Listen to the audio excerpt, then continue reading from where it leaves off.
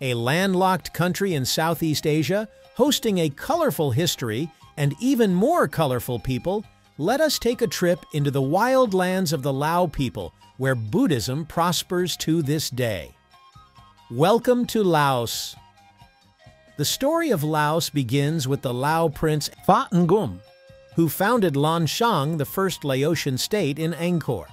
From 1353 to 1371, he was able to expand the territories of this up-and-coming kingdom, which included what is now Laos and northern and eastern Thailand. He also helped extend the Khmer civilization, a consequence of which was the introduction of Theravada Buddhism to the Laotian people.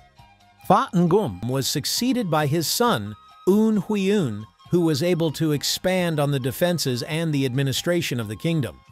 A long peace would come after his death in 1416. However, territorial disputes still occurred every so often.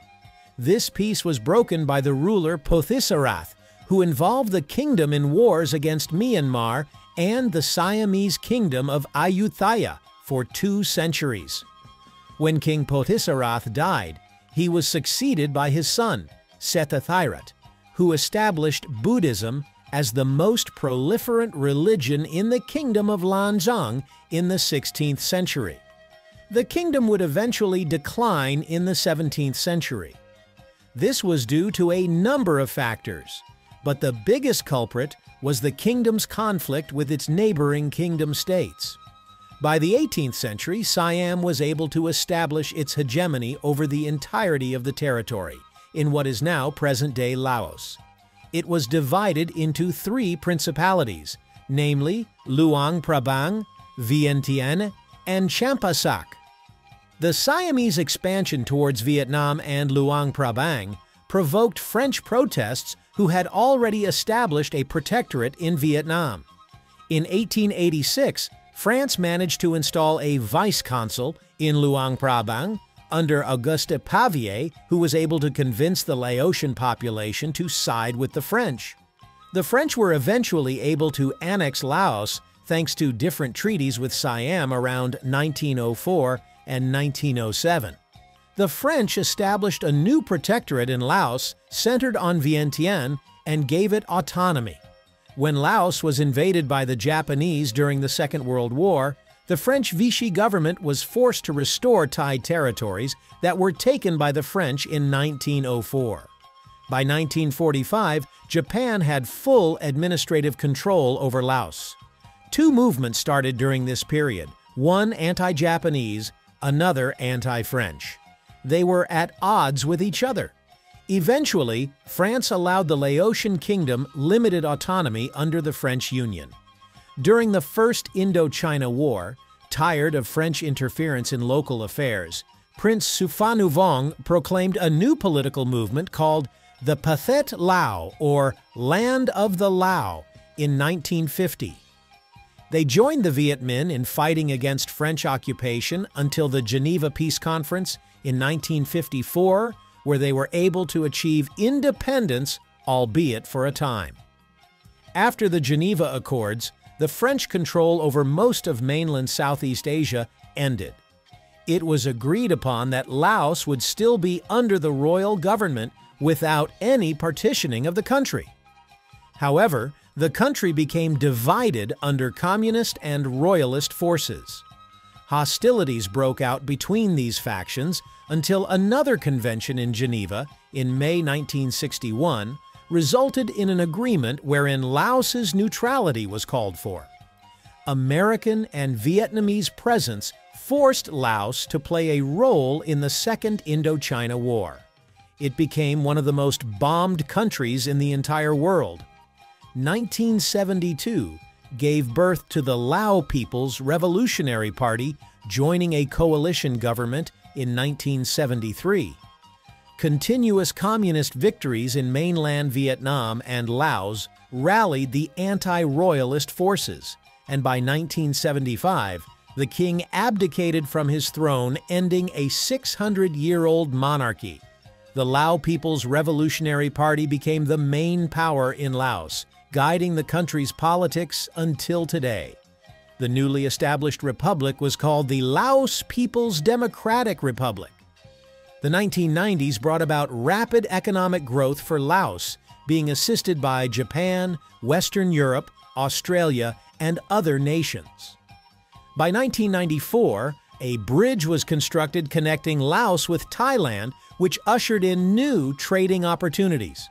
In 1997, Laos became a full-fledged member of ASEAN. The current GDP of Laos is valued at $15 billion. With a highly agricultural economy, Laos relies on agri-produce. However, it still heavily remains dependent on foreign aid and investment. The top agricultural products of Laos are cassava, root vegetables, rice, sugarcane, vegetables, bananas, maize, rubber, coffee, and watermelons. Despite its economy, Laos also has heavy industries including, but not limited to, mining, copper, tin, gold, gypsum, timber, electric power, agricultural processing, rubber, construction, garments, and cement. It also has a growing tourism industry. The Laos flag is one of the rare communist flags without the depiction of a star. It consists of three stripes, two red and one blue, with a disc in the middle. The red stripes symbolize spilled by the revolutionaries, the blue stripe represents wealth. The white disc represents the moon rising over the Mekong River and being united under communist rule. Laos has a total landmass of around 237,000 square kilometers, or 92,000 square miles. The capital of Laos is Vientiane. One of the most famous rivers in the world can be found in Laos, the Mekong River, which is also the lowest point in the country. The highest point of Laos is Phu Bia, which stands 2,800 meters above sea level, or 9,200 feet. Laos, being part of mainland Southeast Asia, has a tropical climate. The maximum average temperature for the entirety of the country is 31 degrees Celsius or 81 degrees Fahrenheit, and the lowest average temperature is 22 degrees Celsius or 72 degrees Fahrenheit. Laos has a total population of around 8 million inhabitants, 53% of whom are of Lao descent. Other indigenous groups make up the population which include the Khmu, Hmong, Phuthai, Thai, and several others. The government of Lao officially recognizes 49 ethnic groups. However, the demonym for all indigenous groups fall under the Laotian umbrella. The official language of Laos is Lao, with the second languages being French and English.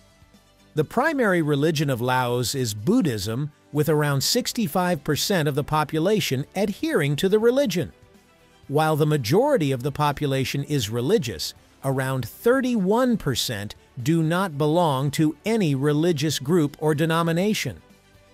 Let's talk about food. Here are some famous dishes from Laos that will surely sate your appetite and give you a glimpse into Laotian culture.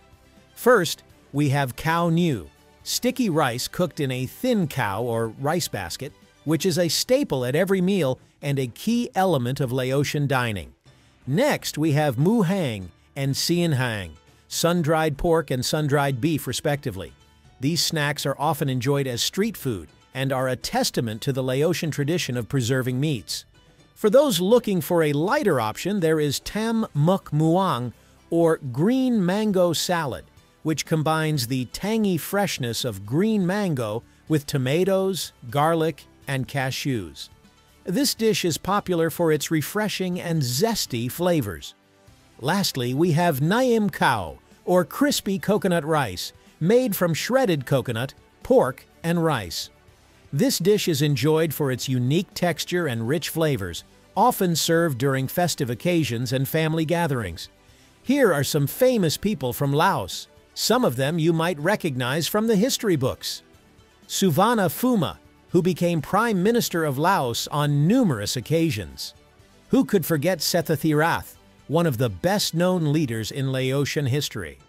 And for the football enthusiasts, some of you may be familiar with Visay Phaphuvanin, a striker for the Laotian national football team.